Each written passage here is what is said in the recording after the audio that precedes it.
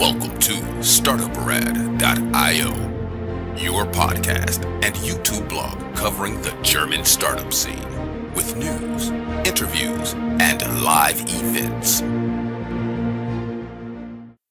Hello and welcome everybody. Welcome to the exciting world of StartupRad.io where innovation meets insights. Ladies and gentlemen, entrepreneurs and enthusiasts, we are thrilled to kick off the first episode of 2024, ushering in a year of groundbreaking business news and entrepreneurial endeavors. Join us on this journey as we uncover the stories behind the headlines, connect with visionary leaders, and dissect the strategies driving success in the ever evolving world of startups. Here's a year filled with innovation, growth, and the relentless pursuit of greatness. Thank you for being a part of the StartupRad.io community. Buckle up, stay tuned, and let's make 2024 a year to remember. Really sorry here on a personal note for the delays, but the weather, the ongoing wave of infections think corona, influenza and RSV threw a monkey wrench into my schedule. Always topped off with very severe weather here in the last few days. Think freezing rain and then on top of it, heavy snowfalls. But I do promise we will be back on track for 2024 and also pick up our newsletter again on Slack and LinkedIn big promise.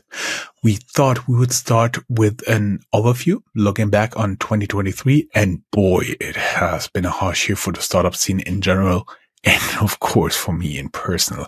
But let us jump in. Experienced a mixed performance.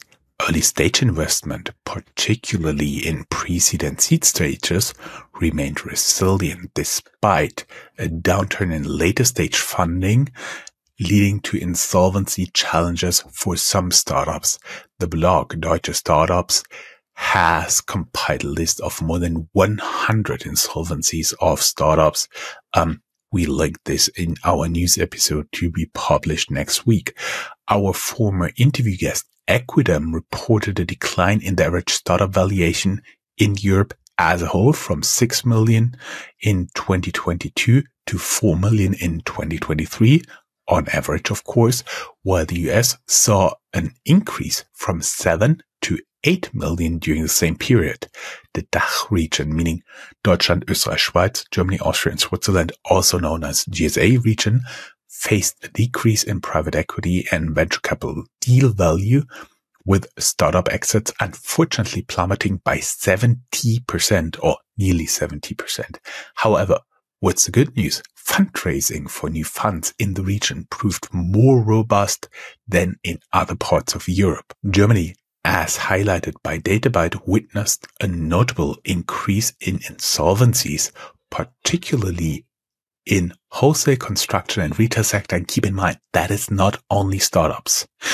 The European Scale Up Navigator emphasized the need for more scalable startups in Europe estimating a potential of 200,000 startups to create 8.1 million jobs in certain sectors, such as deep tech, biotechnology, as evidenced by increased investments in, of course, AI and fundraising, especially by the German biotech companies in 2023. Overall, the European startup ecosystem faced headwinds in 2023, with a varying degree of impact across the regions and industries. Here are different sources for the review. Most important, they are all linked so you can start your own digging. Look for links in our blog, medium.com forward slash startuprad dash IO or the link down here in the show notes. I'll just go through 10 pieces. We do have quite a lot, quite a big um, library of potential content. And I was deciding on just to do 10 and give you one, two, three highlights from the respective publication and link them so you can do your own research. By the way, that is the way StartupRad.io was intended and set up. So in, uh, so that's the way we intend you to use this podcast. We give you the highlights. We give you an overview. And on our blog, there's a link to the original source. And that's where you can start digging where your interest lies. By the way, happy new year and happy digging. Number one was the Equidam pre-seed valuations Europe. Again, we are jumping here between Europe, Germany and the DACH region. And I will try to highlight as much as possible uh, where we are here, but Equidam only does um, a level of European startups. So that's what we're taking here. As our audience no- already knows, startup valuations took a hit, but early stage investing, mostly pre-seed and seed and by some series A funding has been going okay. Later stage funding was depressed, unfortunately, and that led to a lot of insolvencies, mostly because they could not get their next funding. The average valuation of a startup, according to Equidam, was in Europe 4 million euros in 2023, down from almost 6 million in 2022.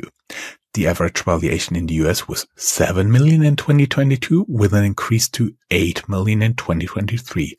Talking globally, only Africa, Europe and Middle Eastern startups took a valuation hit in 2023, but the valuation for startups in Latin America and the US rose. Southeastern Asian startups showed a very, very slight growth in terms of average valuation. The next piece of research we have is private capital breakdown DACH, Deutschland, Österreich, Schweiz, Germany, Austria, and Switzerland by the research house PitchBook. The publication is an overview of the private equity and venture capital markets in the region. The data here is based on the report, which is which ended at end of Q3 2023. Not a surprise here, but it does not look very bright. According to PitchBook, the deal value in private equity is expected to be around 14% lower this year than in previous year and venture capital even 45% lower. Startup exit values have been down by almost 70%. The good news is that the DACH region was more resilient in fundraising for new VC funds as the rest of Europe. That's at least a glimmer of hope for the region. Databyte. Databyte is a data provider that regularly reaches out to us via email. And we found this piece of research pretty nice, uh, pretty interesting. So we include it in our review.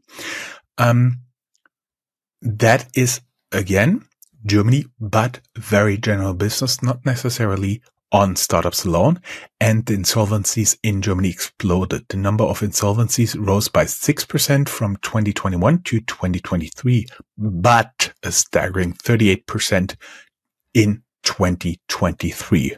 Whoa. Most companies actually file for bankruptcy either in June, November, or December. As we already said, most insolvencies occurred in wholesale, followed by construction and retail, surprising also consulting companies filed for insolvency as the fourth industry. There have been 9% less companies founded in Germany in 2023. November minus 26 and December minus 51% have been really tough. In total, still around 120,000 new businesses have been registered, mostly consultancies, again, followed by financial services company. Spot number three was taken by companies related to real estate. Databyte's outlook, it will get better and they expect more newly found companies. Good news here. The European Scale Up Navigator is our next piece of research. This is a more general position paper by Rise Europe, but it fits quite well looking at later stage startups in Europe. Again, this was published in November 2023, so assume at maximum Q3 data of the year, but nonetheless, it's an interesting read. Europe, Europe needs more startups that scale. No surprise here. Europe needs startups that scale, but it has significant potential to do so. The authors estimate a potential of 200,000 startups here for a total of 340,000 scaling startup, which could generate 8.1 million additional jobs and add 2.3 trillion US dollars, yes, with a T, in market capitalization. Um, that to um, 5.6 trillion US dollars, and that size is three and a half times the market cap of Europe's largest index, the DAX. Germany's DAX has only 1.6 trillion US dollars in market valuations at the point uh, the research was was uh, conducted, and they make cases for countries where they have identified successful scaling startups, namely Estonia, Sweden, Latvia, Lithuania, Germany, and Switzerland. Our fifth piece of research is the KfW VC and PE dashboard. Note the interview with the chief economy, Dr. Fritzi Köhler-Geib of KfW here, where we talked about this dashboard. We'll link it in the show notes. The database is based again on Q3 2023 quarter over quarter. The deal volume and number of deals are down by more than 20%. Also, larger deals in the scale up space have been lower, but startups in series A and B have risen more than 100 billion euros which gives hope for the years to come. 2023 could be a deal, could see a deal volume of 8 billion euros according to KfW, surely below record, but still above many pre-corona years. So the long-term trend upwards is still intact. Our sixth piece of research is Tech.eu 2023 annual report together with VC Creado. Note, we are dealing here with a European perspective that puts German numbers um, before a bit into perspective. The overall deal volume is down by almost 40% across Europe, uh, across the continent with 6 point, uh, 67.7 billion euros were invested by more than 13 thousand investors. The top countries receiving the funding did not change. UK 24 billion, Germany 8.7 billion, France 8.2 billion and the Netherlands 6.1 billion.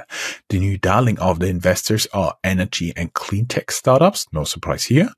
Um, who raised more than 17 billion euros across Europe in total. Note Switzerland made a remarkable number six with 2.8 billion euros. 2023 European Deep Tech Report by Dealroom. The authors write that Europe has all it takes to become a global deep tech hub. The category was amongst the most resilient VC categories, which held steady compared to 2022. To put this in perspective, fintech was down 70% in, uh, in a funding slump deep tech hubs are emerging across Europe with Stockholm, London, Paris, Grenoble, and Munich.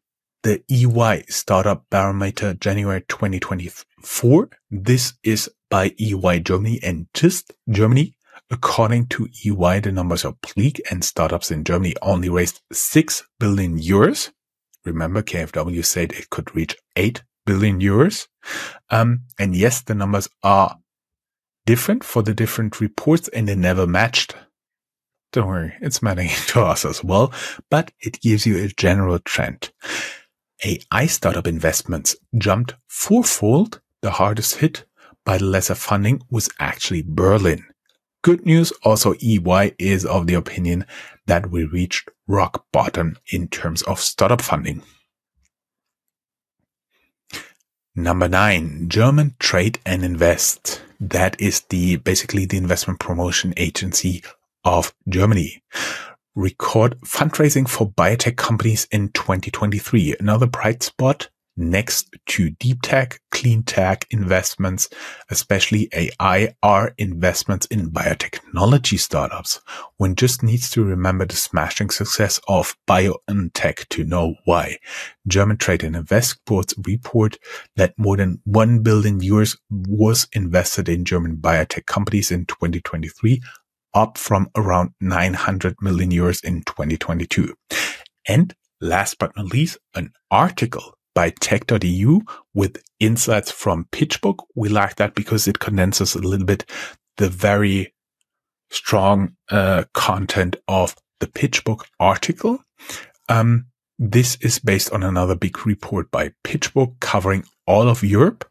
Um, similar to the to their own report, PitchBook finds minus 41%, minus 49.1% fewer investments by volume at the end of Q3. The forecast is that the total investment 2022 of 109 billion euros will not be reached. Keep in mind for all of Europe. Again, highlights are clean tech and AI startups.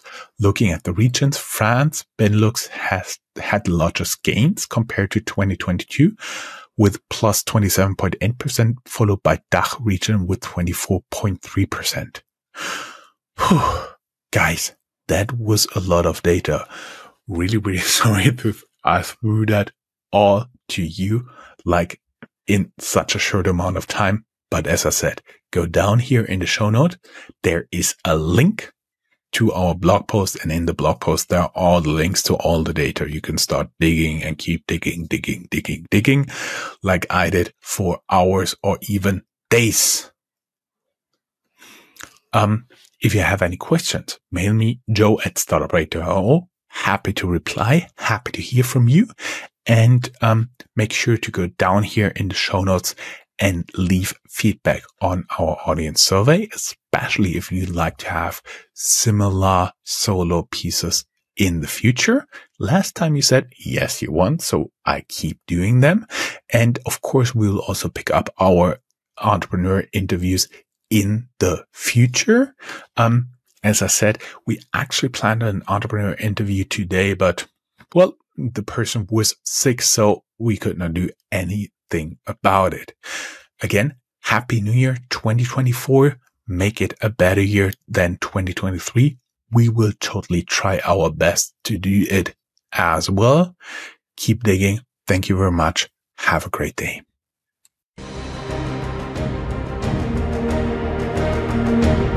That's all, folks. Find more news, streams, events, at startuprad.io. Remember, sharing is caring.